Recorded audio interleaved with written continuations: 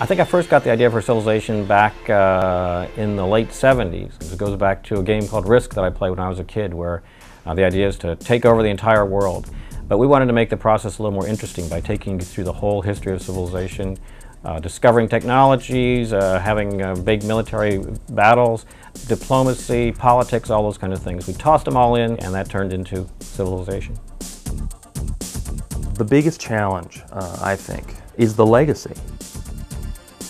This is Civilization 3. That is a big build, Phil. I think our games are designed for people who like to think and make decisions and imagine themselves in kind of interesting situations. Uh, our games are not uh, about uh, reflexes and hand coordination. They're games about thinking, uh, planning, strategizing, and, uh, and winning. One of the new ways you can play the game is a, as a cultural strategy. And this is sort of a non-military way to gain land and cities and, and people. You know, like you can take over my city, but you can't convince my people that your culture is better than mine. If you actually ratchet your culture high enough, cities that border your territory will actually start converting to your civilization. I try to build these big honking uh, cultural centers in the game which make it difficult for other people to take over my empire because when they do, they get sort of subsumed in my culture. I think we have a kind of a unique game development style in that we're all primarily game players. We love to play games. and this here is Civ 3. I'm going to start a new game. We don't design games in a vacuum with a big storyboard and flowchart and put a bunch of pieces together and hope that it works. We're playing the game day in and day out. And if we find something we like, we build on it. If we find something we don't like, we take it out of the game and put something else in. So you're getting a game in Civ 3 that's been played and played and played by people who really love games. There are a lot of games where you would have to play the interface and sort of figure out the interface as a puzzle.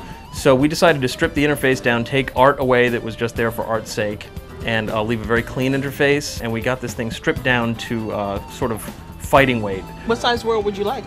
This game runs amazingly smooth. You can play this game for hours, never have a problem, never. One other thing that we, have added to the game is that we have line of sight rules for uh, guys as they move around on the map. Like if you put a guy on the mountaintop, he can see you know, a lot further than he can see on the flat lands. And this is extremely crucial in the early part of the game uh, for exploration.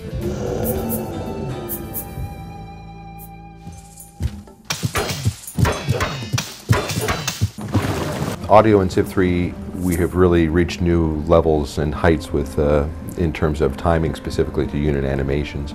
Uh, audio times perfectly in terms of footsteps. When you see the footsteps of the actual unit, the sound of the footsteps actually times perfectly with that every time. Uh, sword slashes are timed perfectly. The music in Civ 3 is huge. There's just tons and tons of music, so there's a whole lot less repetition in the music that you hear when you play the game. The graphics are so much better. The animations, the whole screen comes alive. You're seeing the leader face to face, mano a mano, and they're reacting right to your every move. The minute you make any kind of a deal with them, they immediately begin to show displeasure or happiness, um, but they may not be disclosing their full feelings to you. So sometimes they can, uh, they can raw deal you. When you first meet them initially, they'll sort of be in, in character, so to speak, but as you go, certainly they jump right out of character. You're, you're able to change history in that regard. You'll see a side of Gandhi you've never seen before. Um, I don't think I've ever seen Abe Lincoln smile. Uh, well, one of the things I'm really excited about with the AI for Civ 3 is that it picks up off of, of cues from uh, decisions that you make. For example, if you use the city governors, um, it will react to choices that you make. So if you decide to have a city stop building swordsmen and start building a temple because you're no longer at war, you just want decide you want to develop your culture more, um, the governors will learn that and they'll start making suggestions like that in other cities. They might suggest to build a library or a coliseum or a courthouse.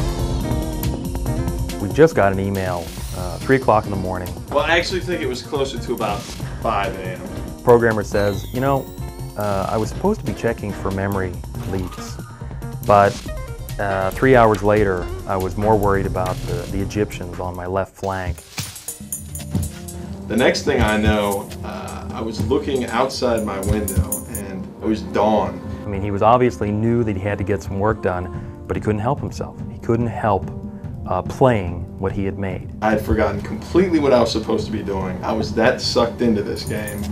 By the time I finally realized what I was doing, it, uh, it was amazing because I know this game. I helped write this game, and I've spent like a year of my life working on this game, and then I was still drawn into it. You know, it's the only game where it's just one more turn, and I just can't stop, and I couldn't stop, even though it was Sunday morning at five in the morning.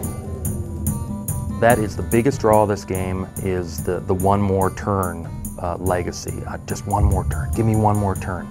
And of course, people play and they play and then they look up and it's 3 a.m. They got to go to work tomorrow and they're cursing us under their breath. You're, you're ruining my life because I just had to have that one more turn.